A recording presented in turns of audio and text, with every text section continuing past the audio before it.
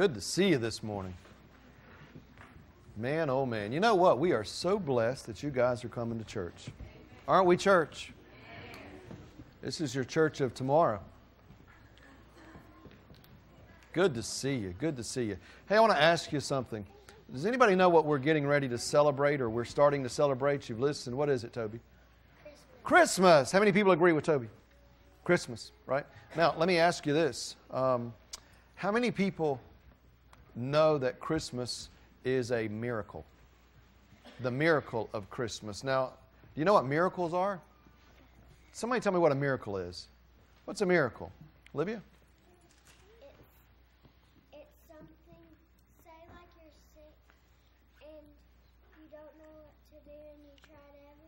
Yeah?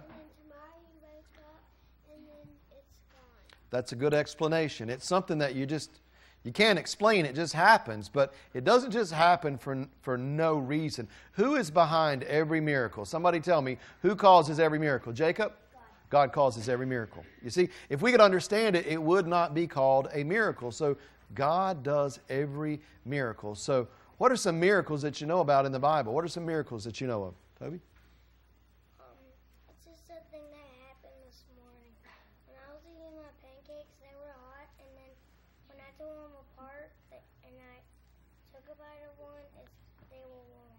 Okay. So your pancakes were hot when you started, right? and then you took them apart and they were were they good pancakes? Okay. Were they good pancakes? Okay. And what kind of syrup did you have on the pan? Did you put syrup on the pancakes? Were there blueberries in the pancakes? Who made the pancakes? Praise God for your mom. Amen. Amen. All right. Now, what are some miracles that you know of in the Bible? Layla? He made the crippled walk. That's great. What else, Hunter? Um, Daniel and the lions. That was a miracle. Daniel and the lions did. The lions didn't need him. What's another miracle? Carson? The lepers, right? We talked about that last week, right? What else, Jacob? Um, Mary being chosen by God uh, that was a great miracle. We, we hear all kind of miracles, and, and Jesus did all kind of miracles. But do you know that the, Jesus being born was a miracle? Because Jesus wasn't just a child that was born. When you celebrate Christmas, you're celebrating a miracle. So, who does miracles? Tell me again. God does miracles. And when you celebrate Christmas, you're celebrating a miracle because Jesus was not like me and you. Jesus came from heaven to be born here on this earth. Jesus became a miracle because Mary, Mary was not the, the woman that, that went with her husband, and all of a sudden they had a child. God chose Mary to have a child. And Jesus, who was in heaven, all of a sudden was in Mary and then was born in Bethlehem. And the miracle was that God was the one that caused it. And then the other miracle is that Jesus grew up, he died on a cross, he was buried, and then there was another miracle, right? What was that miracle? Tell me again, Hunter. He rose again, right? So his life was full of miracles, but his birth was a miracle. So when you celebrate Christmas this year, I want you to know that you're celebrating a miracle. So when somebody says Merry Christmas to you, I want you to say, Merry Miracle back to them, okay? Can you do that? And I want you to understand that Jesus' birth was a miracle. It'll make them ask you, why did you say Merry Miracle? And you'll learn today that it was a miracle that Jesus was born. And we're supposed to we're supposed to celebrate that miracle. That's what we're doing at Christmas. Merry Hanukkah. Yeah, you're in the wrong church, uh, Jacob. But some people do celebrate uh, that. That's not what we celebrate, okay? All right, let's pray. Father God, I love you. I praise you. I thank you for this day. I thank you, God, for these children. I pray you, you would just open their minds and hearts, Lord, that let them see that, Lord, Everything that you've done since Jesus came to this earth was a miracle, especially his birth. God, as we celebrate Christmas, I just pray, Lord, as they watch the adults and as they learn, Lord, what Christmas is about, I pray, God, that you would just save a spot in their mind, Lord. Make it a, a spot that they can remember the, the miracle of Christmas. And Lord, not so much the presents, the games, the activities, the shopping, the hurrying around that they see all the adults doing, Lord, but let them know the miracle or the miracle that you had for us. In Jesus' name, amen. Amen. All right. I've got fruity snacks for you this morning, okay? Who wants fruity snacks? All right.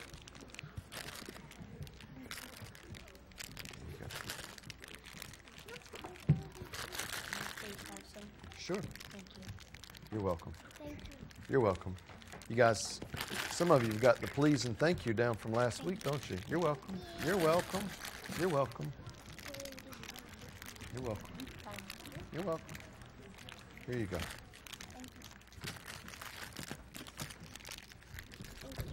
You. You're welcome. Now, if you guys have not started kindergarten yet, you can go to Children's Church.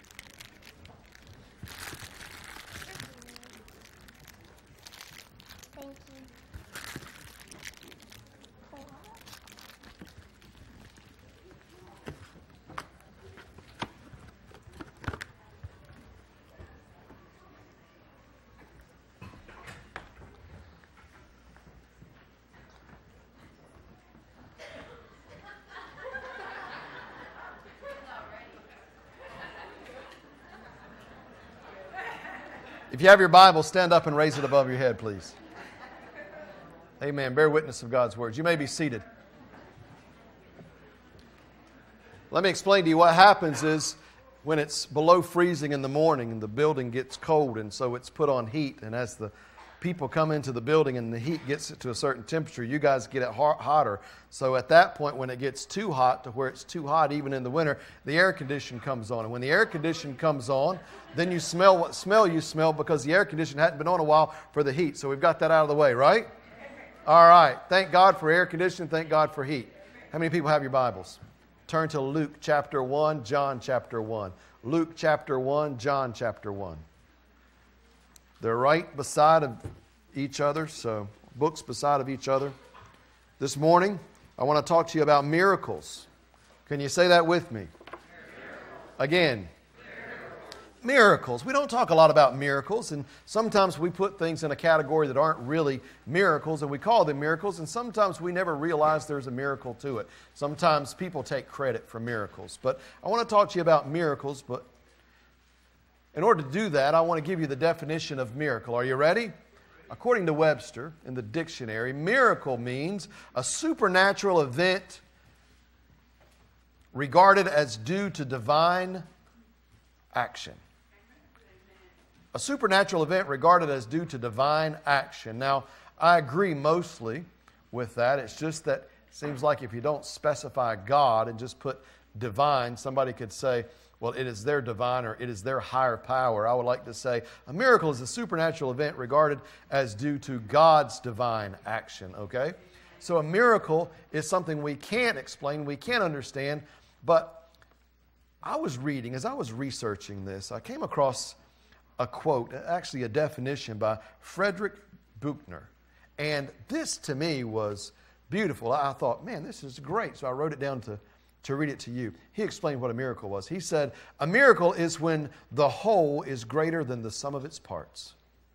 When the whole is greater than the sum of its parts. What do you mean? Well, it just it just isn't anything that we can calculate when you add up everything. In other words, he said, the miracle is when one plus one equals a thousand. I thought, you're exactly right.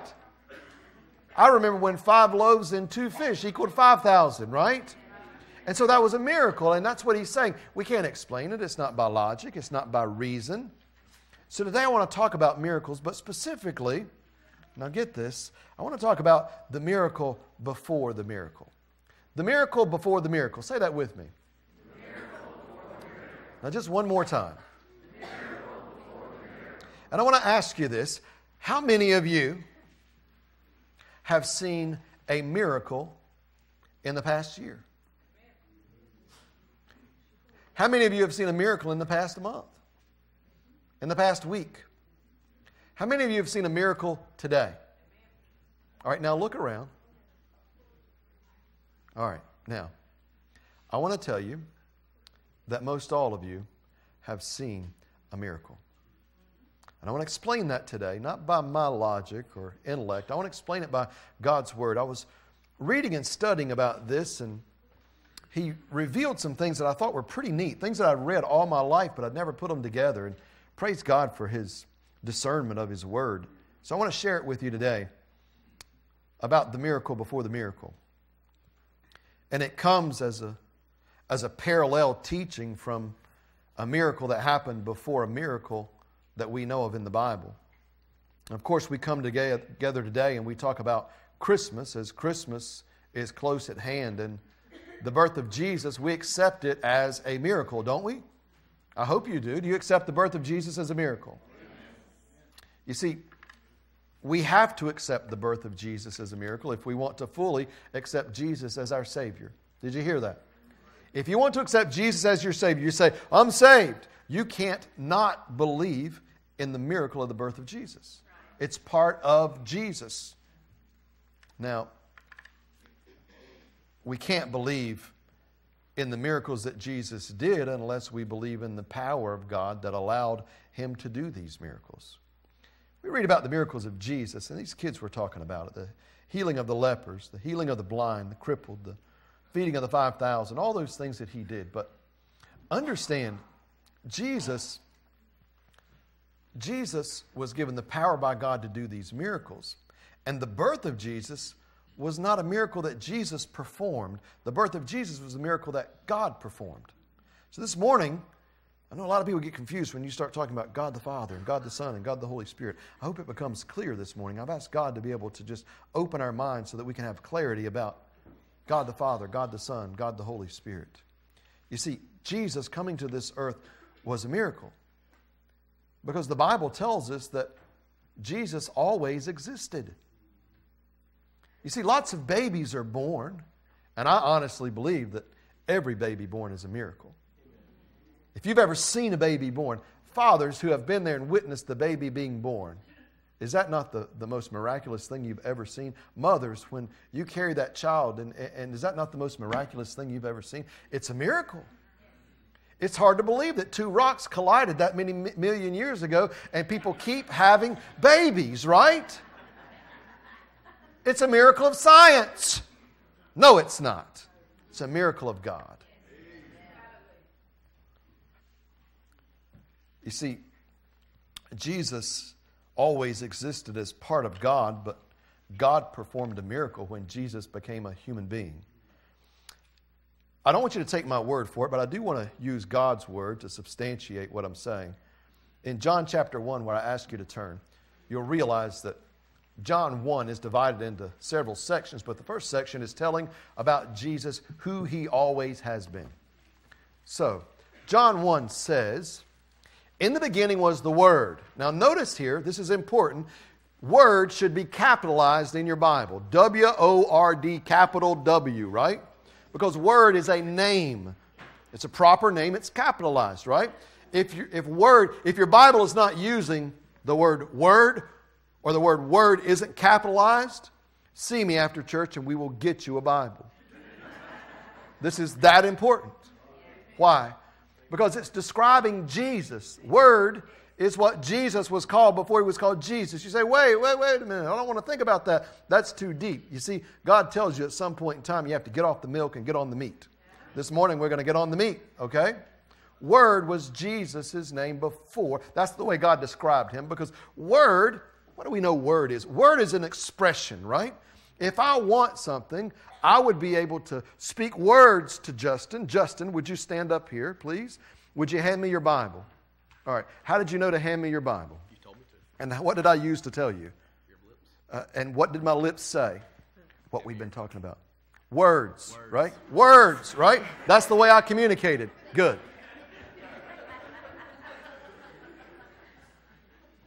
Jesus is an expression of God to us. That's the way he described him. In the beginning was the Word, and the Word was with God, and the Word was God. The same was in the beginning with God. All things were made by him, and without him was not anything made that was made. In him was life, and that life was the light of men, and that light shineth in darkness, and the darkness comprehendeth it not. He was with God in the beginning with God. So Jesus was back then.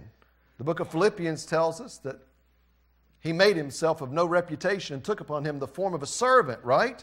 He was made into Jesus the baby by God. Also, You'll understand if you say, Well, I don't know about that. Jesus being here, well, as soon as you open the book of Genesis, chapter 1, and you learn about creation, which is the real way that we, that we were able to be here today, and you get to verse 26 of chapter 1, God said, Let us make man in our image, after our likeness. You see, God is so great, He's plural. God is so great, He's plural, right? What God can claim they're plural besides my God, right? Your God. He's God the Father, He's God the Son, He's God the Holy Ghost. But God the Son wasn't God the Son until He became the Son born in a manger, and that's what we're celebrating. You see, notice the miracle of John, chapter 1. We learn that Jesus always was, but then you get to verse 14, and it says this And the Word became flesh and dwelt among us, and we beheld his glory, the glory of, as of the only begotten of the Father, full of grace and truth. Did you see the miracle? The Word, which was in heaven, became flesh and dwelt among us. He was one of us. Glory to God. You know, he couldn't have died for our sins unless he would have been one of us that never yielded to temptation. You see, he was the perfect lamb, but he had to be man to be the perfect lamb, to be the sacrifice for our sins. You see, God became flesh. That's the miracle. When God became flesh, he was named Jesus. If you remember, there was an angel that appeared to Joseph in Matthew chapter 1, verse 21, and he told Joseph, he said, And she shall bring forth a son, and thou shalt call his name Jesus. Jesus wasn't named yet. He told him because the Father named him Jesus, for he shall save his people from their sins. So God had a plan. There was a miracle to be born in Bethlehem, and we need to understand that this first miracle that had anything to do with Jesus was the birth of Jesus, which was done by God. And that's when God became flesh and blood. And another miracle of his birth was that he was born of a virgin. I want to stress that today. He was born of a virgin. You say, that doesn't make sense. Exactly, it's a miracle, right? Do you understand that you can't fully understand and accept the Lord Jesus Christ unless you can accept something that you can't understand. That's what he calls faith. The substance of things hoped for, the evidence of things not seen. That's faith. He asked us, and he said it's impossible for us to please God without faith. You have to accept Jesus Christ died on a cross for your sins. How many people saw it happen? No one, right? We didn't see it happen. We have to accept it by faith. So the virgin birth, you have to accept that by faith. Can you understand how in the world does a child come into this world in a mother's womb without a father and a mother coming together physically and the part of the father and the part of the mother mingling the way that we know that it's supposed to? Without the father it cannot happen. It can happen. It did happen. His name is jesus. He was a miracle right? It's part of the reason we celebrate christmas. It's the virgin birth if you read in Luke chapter 1, I told you to turn to Luke, you'll realize that there's a section of verses there that, well, the, the angel was describing to Mary. Listen, and I'll read with you. Luke chapter 1, verse 26. We'll start there. It says, In the sixth month, this is important now, in the sixth month, which month? This, we'll come back to that. In the sixth month, the angel Gabriel was sent from God into the city of Galilee named Nazareth to a virgin. To a what? Virgin. That means that she has not been with a man, she's never been with a man. To a virgin, espoused to a man whose name was Joseph of the, th- of the house of David, and the virgin, called her a virgin again, his name was Mary.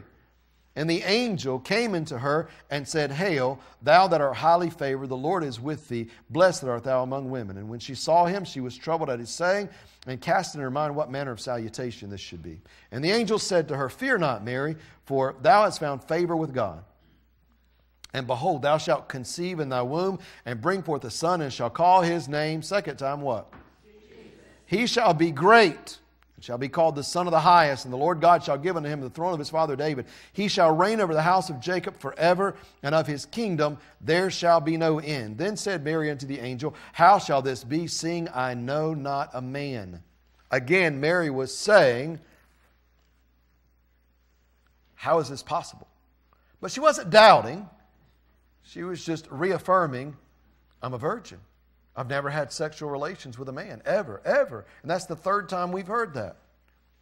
And then, verse 35 the angel answered and said unto her, The Holy Ghost shall come upon thee, and the power of the high shall overshadow thee. Therefore, also that holy thing which shall be born in thee shall be called the Son of God. So, the second part of the miracle, verse 27, it tells you Mary was a virgin. Verse 31 and 32, Behold, thou shalt conceive in thy womb and bring forth a son, and shall call his name Jesus. He shall be great, shall be called the Son of the Highest. How can you conceive and bring forth if you've never had sexual relationships? How can a woman do that? Well, I don't understand. I don't, you can't explain it. It's a miracle. Verse 34 Then said Mary unto the angel, How shall this be, seeing I know not a man? Of course, Mary knew her own self. She knew that this had never happened. She wasn't doing like we do sometimes, where we remind God of the logic of things, don't we? Surely you've done this before, right? God, I would like you to answer this prayer in a specific way. Can you give me this and this and this? As if we think God has forgotten something. How in the world is God's going to do this if he doesn't do this? How's he going to do B if he doesn't do A? Anybody ever pray like this? So we've heard about the miracle of the birth of Jesus. How many people believe that the birth of Jesus is a miracle? And what do you celebrate at Christmas? You celebrate a miracle, right? And I'm not here today to talk to you about the miracle of the birth of Jesus at Christmas. I'm here today to talk to you about the miracle before the miracle. Now, say that with me the miracle before the miracle. And when you leave here today, you're going to realize the significance of the miracle before the miracle, even today, this many years after. The Bible tells us specifically that there was a miracle before the miracle of the birth of Jesus. Well, what do you mean? Well, if you continue to read in Luke chapter 1, where we were a minute ago, and you start with verse 36, you see, Mary had just been told, just been told, she was going to have a child.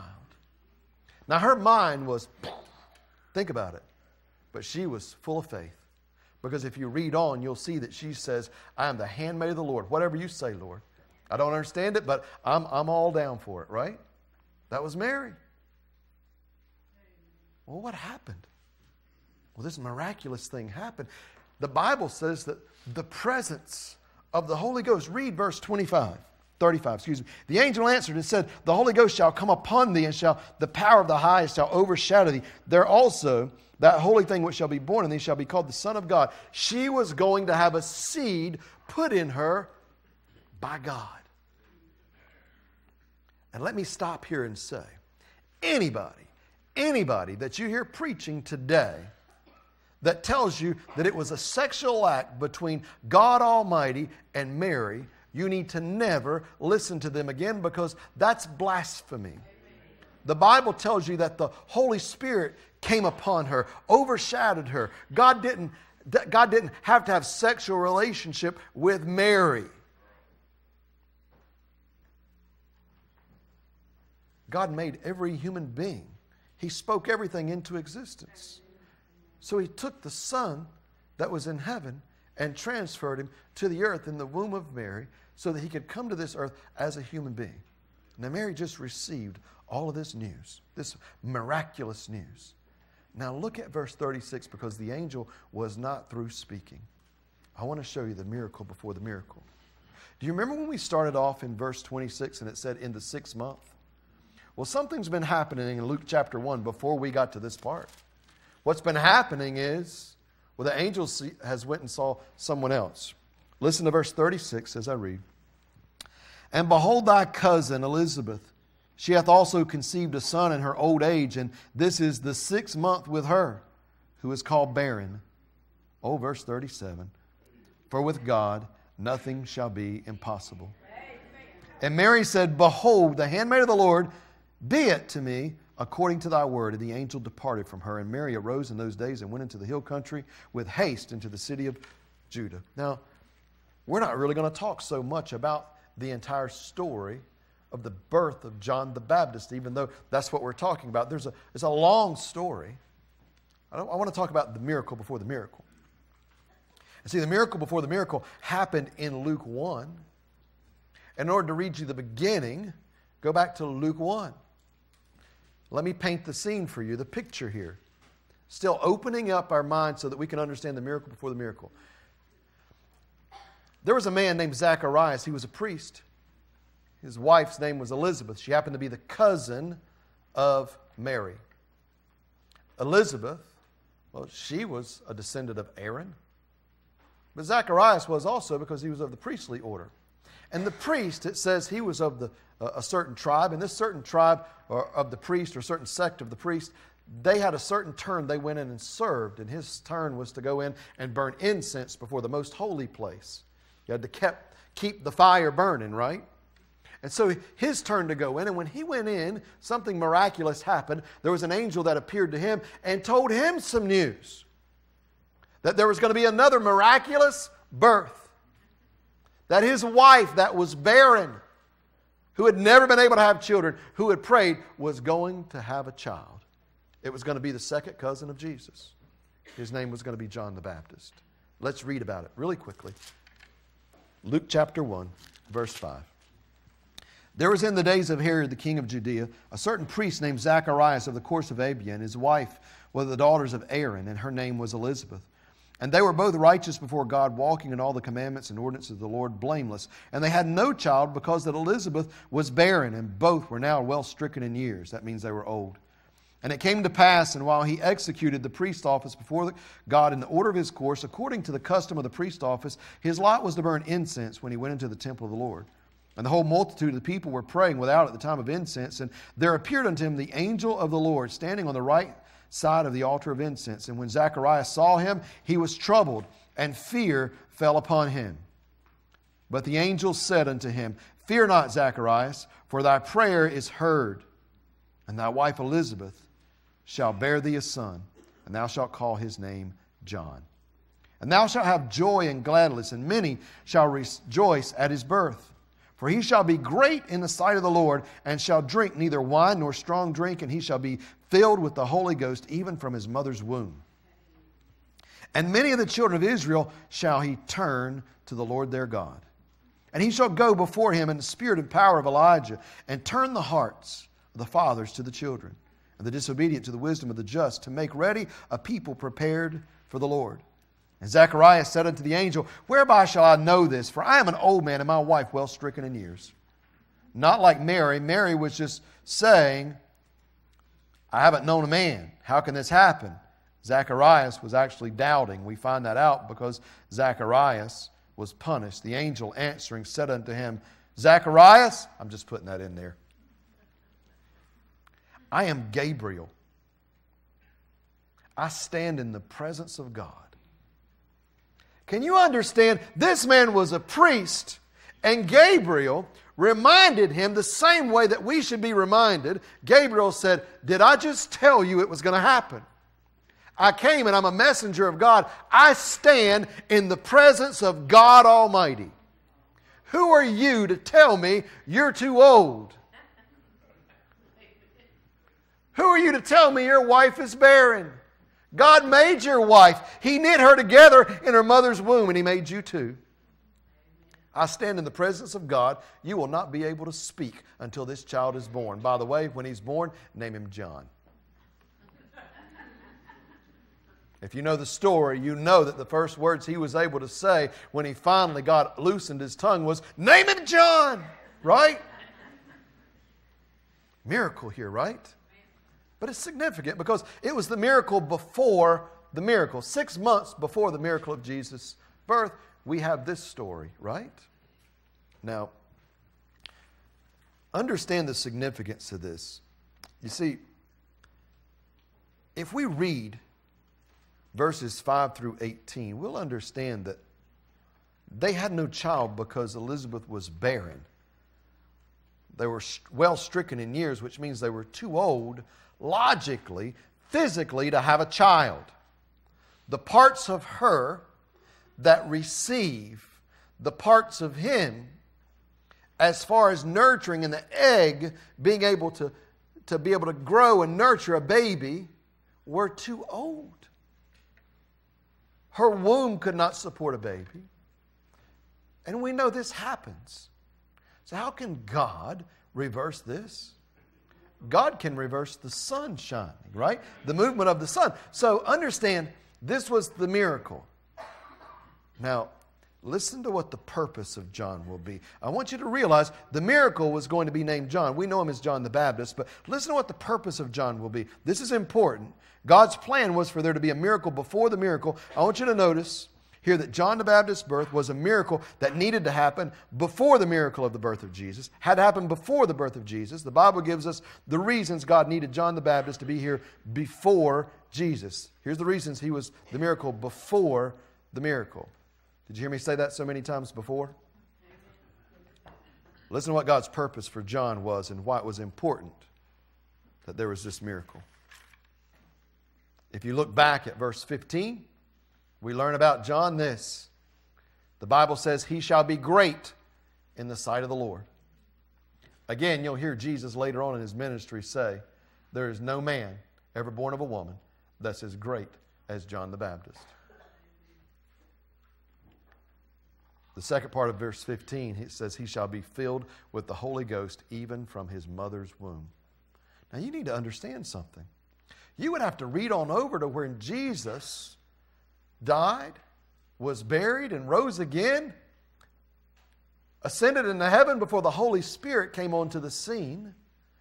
This was untypical. This was miraculous. The Holy Ghost, he was going to be born with the Holy Ghost in him. Verse 17, it says, And he, that's John, shall go before him. That's Jesus. He before him. John before Jesus in the spirit and the power of Elijah or Elias to turn the hearts of the fathers to the children and the disobedient to the wisdom of the just. Listen, to make ready a people prepared for the Lord. The Lord hasn't come. John's job is to prepare a people. John's purpose was to minister about Jesus, to turn people's hearts to Jesus, prepare people to meet Jesus when he came. Now, later on, as Luke chapter 1 continues, John the Baptist is born. Zechariah's mouth was open. Zechariah, well, he began to praise the Lord. I'm telling you, he praised the Lord. He was on fire, right? Now, verse 76 and 77, listen to what he says about John the Baptist.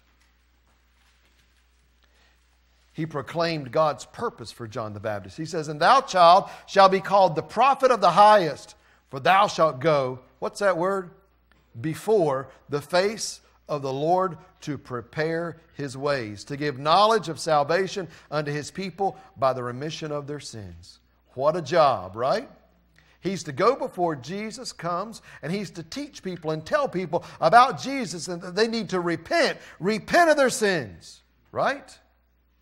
And accept Jesus' blood to cover their sins. Now that's just Luke 1. If you went back to John 1, you know, that's where we're flip flopping between. We learned about Jesus and that he always existed. We heard that he became flesh and dwelt among us. If you go further in John than verse 5, you'll realize that John 1 begins to talk about John the Baptist. So turn back to John 1. What we're learning here is about the miracle before the miracle. Listen to verse 6 of John chapter 1. He speaks about John, not Jesus anymore. He says, There was a man sent from God whose name was what? And that's John the Baptist. The same came for a witness. What was he? To bear witness of the light that all men through him might believe. He was not that light, but he was sent to bear witness of that great light. That was the true light, which light every man that cometh into the world. Now, pretty interesting here that when we get to John, he was described as a man sent from God. That's what we call a miracle, right? Sent from God. In verses 7, basically, he says the, came, the same came for a witness to bear witness of the light. So John was a what? Witness. What was he witnessing of? The light. The light, capital L, should be. The light is who? Jesus. Does it say John was the light? No. but he was sent to bear witness of the light. So you say, You're going in a lot of detail. I am. I want you to grasp this because it's all going to come full circle. You're going to realize the significance of the miracle before the miracle. And it's not just a historical reference. So, so are you with me so far? I just need to know. I'll recap so briefly what we've learned so that you'll know about the miracle before the miracle, John before Jesus. You ready? This is what we need to see about the purpose of the miracle before the miracle. The miracle of the birth of John the Baptist was a miracle that happened before the miracle of the birth of Jesus. What was the purpose of the miracle before the miracle? In other words, what was the purpose of John's Baptist birth before Jesus? His purpose is to be great in the sight of the Lord.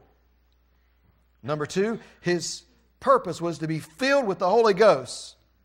So his purpose was to take directions from the Holy Ghost uh, that God was giving him.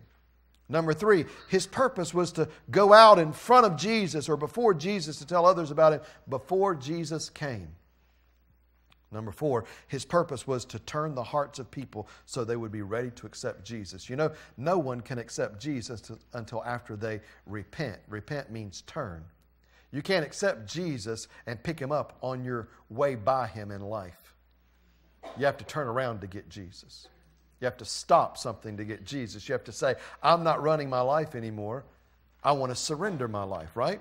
So, number five, his purpose was to prepare the way of the Lord. It says to give knowledge of salvation and to tell people that they need to repent of their sins. And number six, his purpose was to bear witness of the light. He was sent to be a witness of Jesus. So we learned about the purpose of the miracle before the miracle, right? So we can see that God had a specific purpose for performing the miracle of the birth of John the Baptist before Jesus. If you're with me so far, say, I'm with you.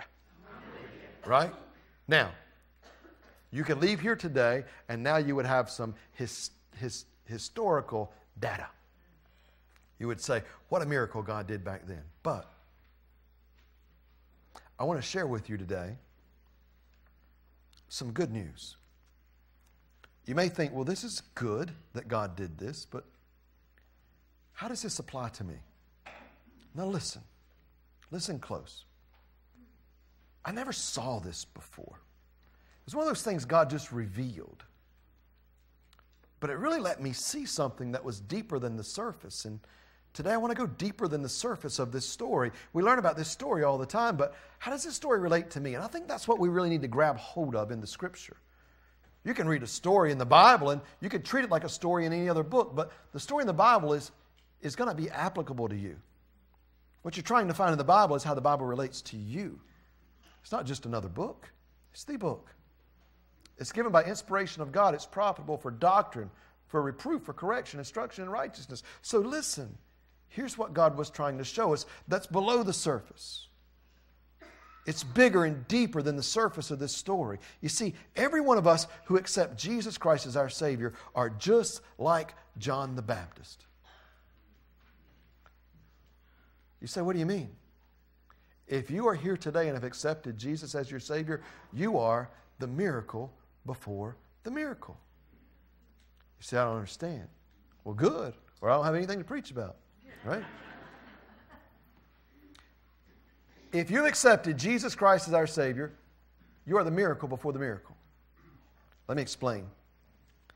By comparing our life as a believer who accepts Jesus as their Savior to John the Baptist's life, we'll see that we are the miracle before the miracle.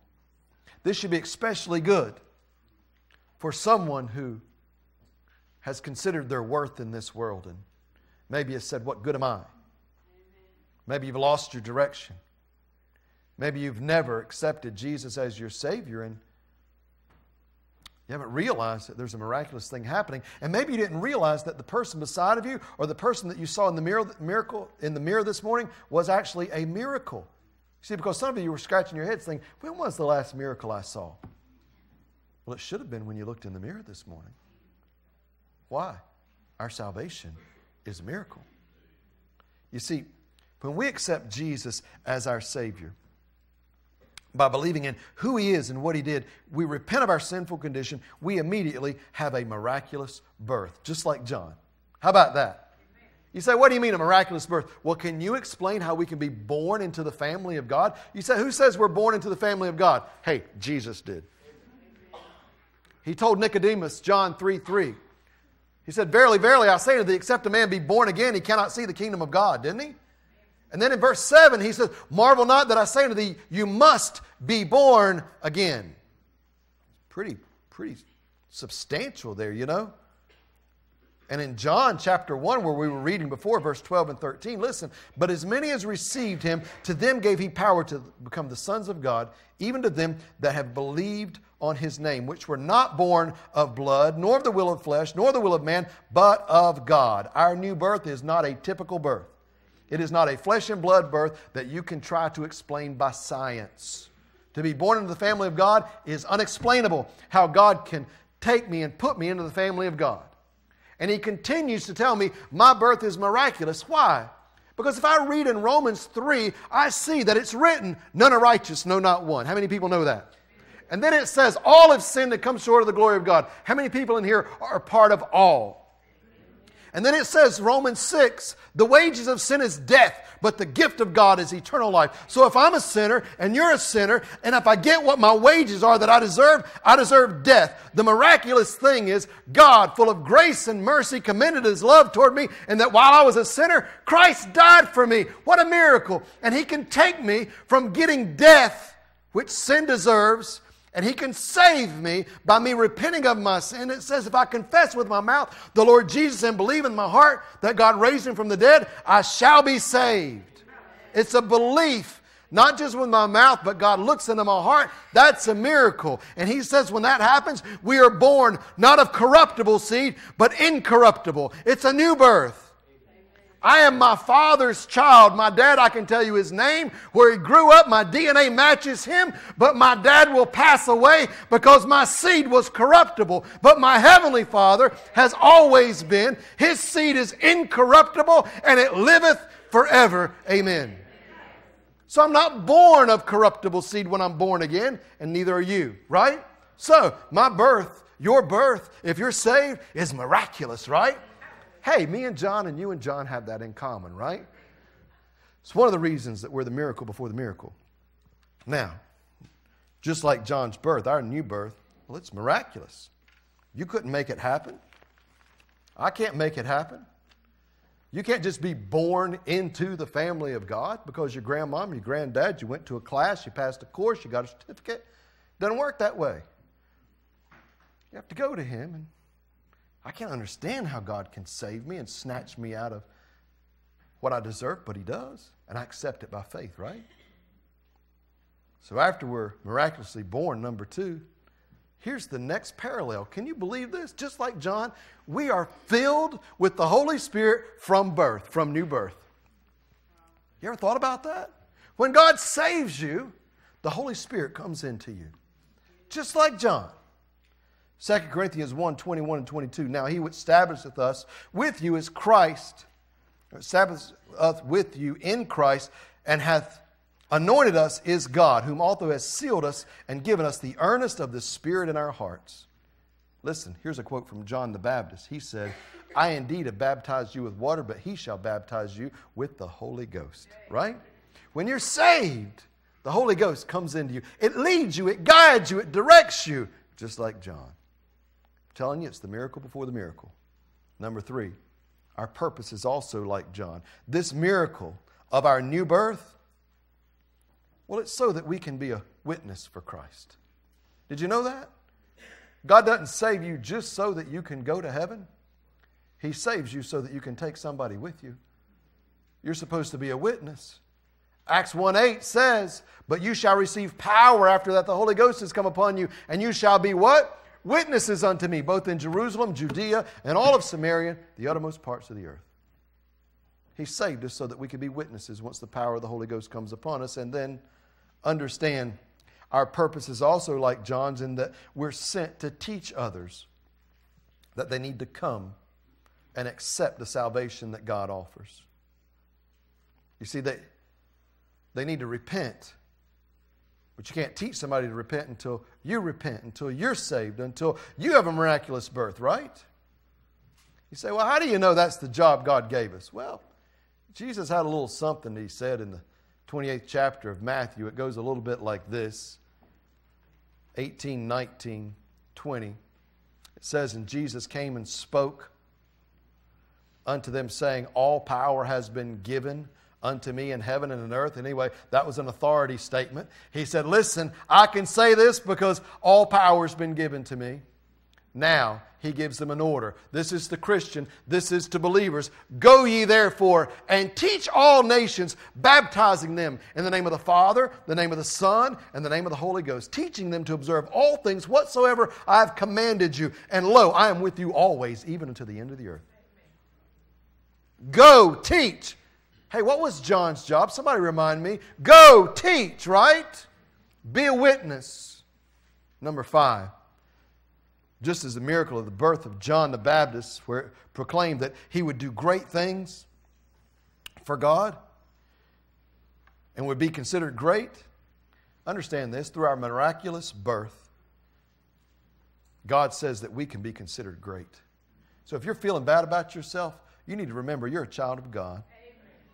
And He saved you to do great things. That's part of your miraculous birth.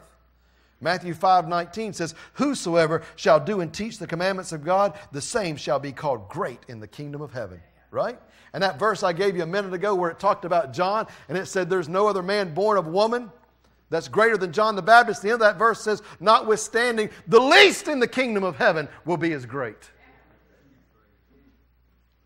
Pretty good stuff. Me? John the Baptist? No, no. Yeah, yeah. I'm beginning to think. There's something to this miracle before the miracle. Besides just this story, this is relating to me, it's relating to you. How could it be? Is it coincidental that all the things that John was miraculously born for, that you and me were miraculously born for in the family of God? Could it be? Number six, just like John, we're called to be a witness of that true light, which is Jesus, by being a light in this world. Remember John 1 where it said he was not the light, but he was sent to bear witness of the light? Well, I'll read over in 5, Matthew 5 19, as Jesus was teaching, he said something like this Ye are the light of the world, a city that cannot be hid, a city on the hill that cannot be hid. And then he goes on to say, Let your light so shine, let your light so shine that they may see your good works and glorify your Father which is in heaven. Are you commanded to be that light?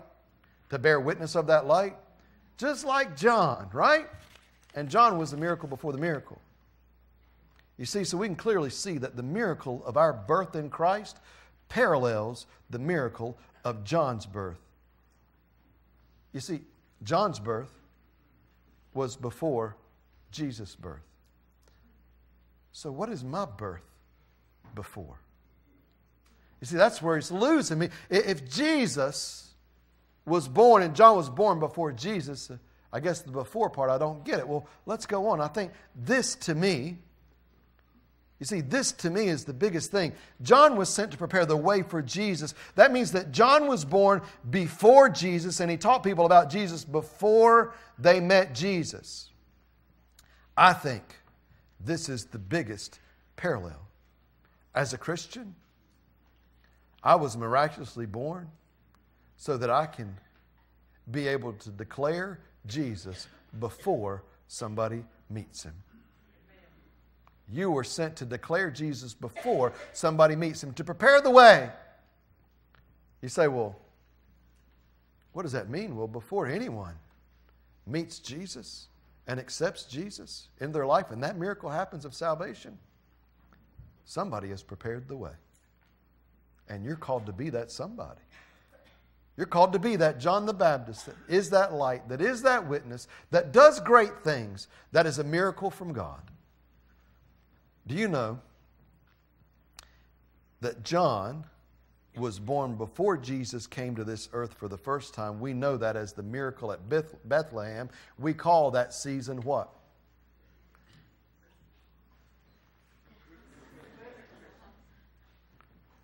John was born before Jesus came to the earth the first time, as we call the miracle of Bethlehem, which we call that season, keyword season, Christmas. But you and I, as Christians, we're born in Christ before He comes the next time to take us with Him. There's the similarity. How cool is that? Just like John, He was born before he came the first time. I'm born before he comes the next time. And I've got a job just like John, right? John's job was to get everybody to meet him. My job is to get everybody to meet him. You see, we're born into Christ before he comes this next time to take us with him in the miracle of the rapture. You say, We're going to talk about the rapture today? Christmas message? What better time? Let me just read this to you. Let this roll off for your ears. This is going to happen. If you're a Christian, it's going to involve you. Hey, stop a minute. If you're not a Christian, it's going to involve you too. For the Lord himself shall descend from heaven with a shout, with the voice of the archangel, with the trump of God, and the dead in Christ shall rise first. Then we which are alive and remain shall be caught up together into the clouds to meet the Lord in the air. So shall we ever be with the Lord. The Bible tells us in a moment, the twinkling of an eye, Jesus is coming back. Do you believe that? Do you realize that when he gave you your new birth, it was just like John the Baptist? You were the miracle before the miracle of the rapture when God comes and rescues the church off of this earth?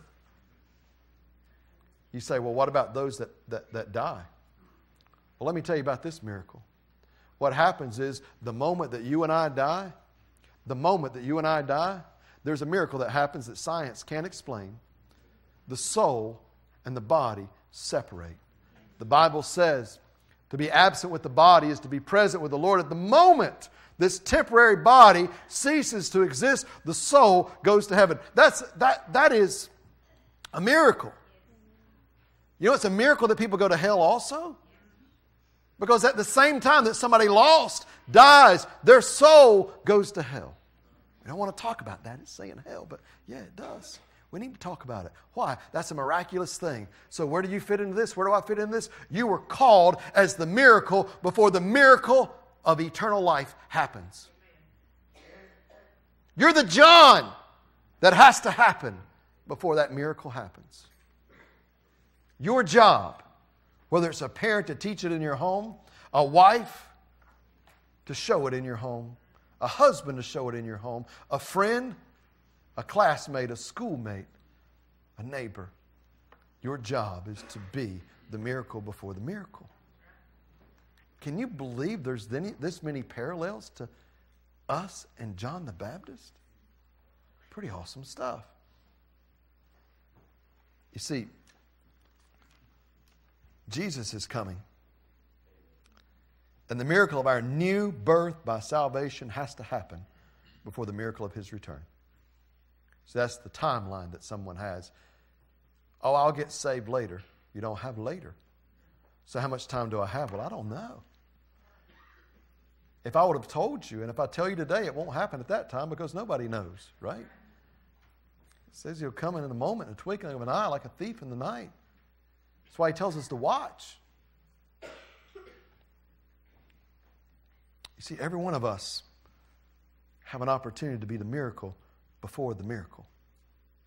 But the miracle of salvation that unites us with God and saves us from an eternity in hell is a miracle that God gives for a specific purpose. Your salvation. Think about it. This is heavy. Just like John, we're supposed to be preparing the way and being a witness for Christ and leading others to Him before the miracle happens when Jesus comes the next time. In other words, here's what I'm trying to share with you today. Christians, if you've accepted the Lord Jesus Christ as your Savior, you have a great miracle to look forward to the miracle of heaven. But you're not living in that miracle right now. You're living in the miracle before the miracle, which is your salvation and your life here on earth. I'm living a miracle. Would anybody else know? Would anybody else know you were living a miracle? Maybe you didn't even know yourself. You looked for a miracle a minute ago and it should have been right in the mirror in front of you. Should have been sitting beside of you. How often do we miss that, Christian? God gave us a life. What is your, what is your life? Explain your life, Mike.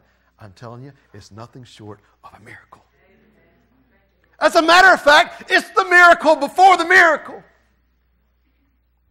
How can I be sad? I'm not living a dream, I'm living a miracle. And if you're a Christian, you are too. And God gave it to you for a specific purpose. Don't miss it.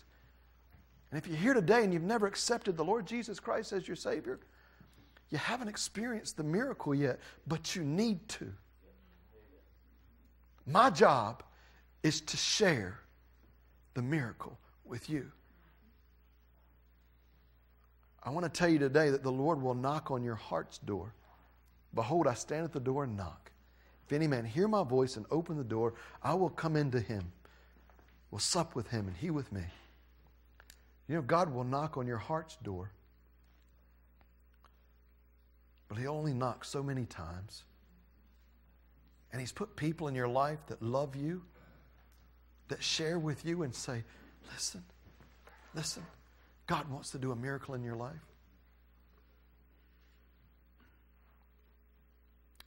He offers you a miracle that's going to be before the next miracle. If you don't take the first, you won't enjoy the second. So today, this message applies to two different people. To the lost, please accept his miracle. To those that are here that are saved, fall on your knees before God. If you haven't looked at the miracle that he's made in you, ask him to use that miracle before the miracle in somebody else's life is run out. Ask Him to use your life to be that miracle before somebody else's miracle. Pray with me. Father God, I love you. I praise you. Thank you for this day. I thank you, God, for teaching us from your word. I thank you, God, for the miracle of our salvation, of our new birth.